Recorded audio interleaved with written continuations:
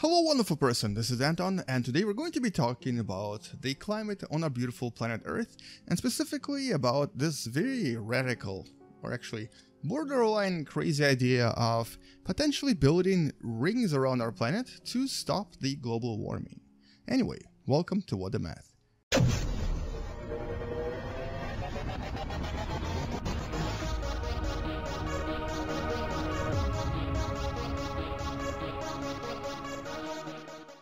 Alright, building rings around our planet is actually not that crazy. As a matter of fact, we uh, did this back in the 60s, as you may have uh, learned from one of the previous videos I made, and it was called uh, Project West Ford. We actually had these very unusual rings around our planet that I'm going to try to simulate right now that were supposed to protect, uh, they were supposed to protect our uh, not our planet, but basically the United States from the potential attack um, by the Soviet Union. Uh, and the way that they were supposed to do this is to, by creating an, um, a kind of a ring of copper particles that would actually reflect radio waves that would allow uninterruptible communication.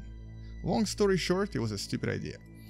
Anyway, moving on to another unusual idea. I'm not going to call it stupid yet, but uh, it is a very unusual idea. And the idea goes as follows. So let's actually maybe create a new climate simulation here uh, actually, let's do this one. And uh, here we're going to be looking at our planet Earth, and uh, Universe Sandbox does a pretty good job at simulating climate based on the carbon uh, dioxide uh, amount in the atmosphere. And here it's known as ppmv, or parts per uh, million of volume. And right now the temperature, the average temperature on the surface of Earth is about 15 degrees Celsius, 15 something. Okay, no, it's, it's about 15. As you increase ppmv, the temperature of our planet, the average temperature will decrease, uh, will increase as well. And um, with the increase of ppmv, you'll actually start noticing that some of the ice will start disappearing. And uh, unfortunately, the water level doesn't actually increase that much, but it is what's going to happen. And because of this, the planet Earth will actually be thrown into a very unusual, uh, very early climatic change that will result in, you know, a lot of hurricanes, a lot of climatic craziness here and there that has already actually kind of started, but to the more extreme um, from what we have today. And uh, these actually, there's actually several simulations that project how much carbon dioxide we might have in the atmosphere. One of the more simple ones I found is from this website called, um, I believe it's called learning.org. Is that what it's called? Yeah, I think it's called, oh, it's, called learner.org.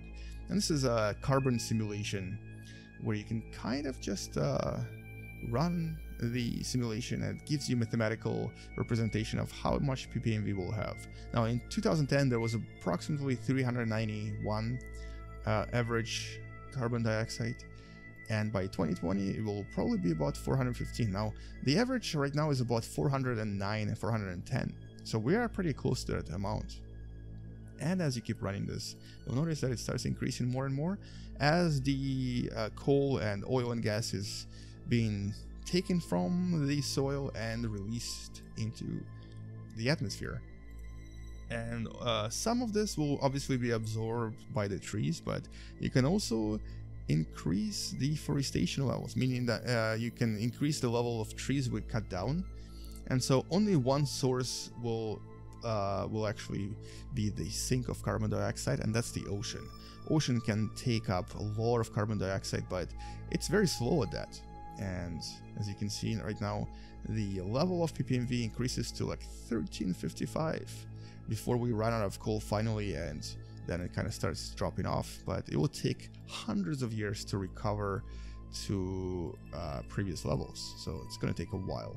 But the highest ppmv here was 1355 let's go to Universe Sandbox and let's see how hot the planet would actually get if this was the uh, the actual number.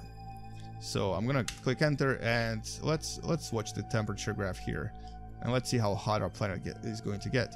Uh, now this will not obviously be right away, but don't forget this is not just about the temperature and the water levels. This is also about the fact that this uh, throws the climate into this crazy, crazy uh, unpredictable behavior. So things will just start going really extreme. There will be a lot of really cold winters, really super hot summers, a lot of hurricanes and typhoons all over the world, and some of them will be super powerful. The temperature has now increased to or by about 7 to 8 degrees. It's still going up though. I think it will be about 10. Yeah, it will be about plus 10 degrees Celsius. And uh, at this point, or even more, maybe even 11. At this point, uh, there's practically no ice in the Antarctica. Uh, there's no North Pole ice almost, and uh, a lot of ice in other regions like the Andes in South America has also disappeared as well, because the temperature has now increased by 12 degrees Celsius. It's quite a lot. So uh, what these scientists propose is this, and this is actually uh, a kind of a general proposition that is technically possible. They basically propose uh, spending about six to possibly 200 trillion dollars to launch a series of uh, different types of satellites. Well, first of all, some of these satellites will actually uh, be tiny, tiny pieces of um, sort of like basically refractive glass that would essentially start refracting or removing the sunlight that is coming from over there. And the way it will look is something like this.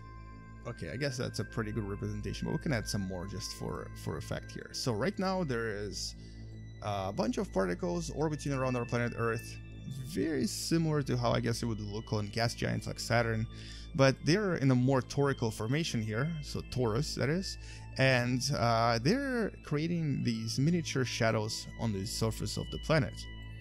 These shadows will obviously uh, cool down the planet because less sunlight is now going to be landing on the surface of the planet.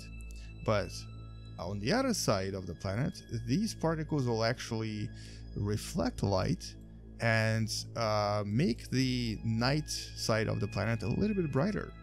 As a matter of fact, they might create as much light as the moon uh, during the full moon, which can obviously create some problems for life on Earth because a lot of life depends on these lunar cycles. But if you have these particles flying around creating this artificial light, it might just confuse a lot of life. But let's not talk about that just yet. So this is actually possible. Uh, what you need to stabilize these satellites is you actually need to create a few other objects and we're going to do this right now you need to create slightly uh, smaller sorry, slightly bigger objects uh, that would be kind of like miniature moons. We're going to do this by adding them automatically. Okay, these are too big. Too big of a moon. Too big of a moon. That that moon is destroying my my unfortunate particles. That's not what I wanted to do. What I wanted to create is several moons, but once again, I made a small mistake here, and these moons are totally not doing what I wanted them to do. Let's uh, go back to the original simulation before things go bad for, oh god. I destroyed planet Earth. So this is actually might uh, what might happen to this scenario here as well. Anyway, that's not exactly what I wanted to do. What I wanted to do is this. Let's do this again.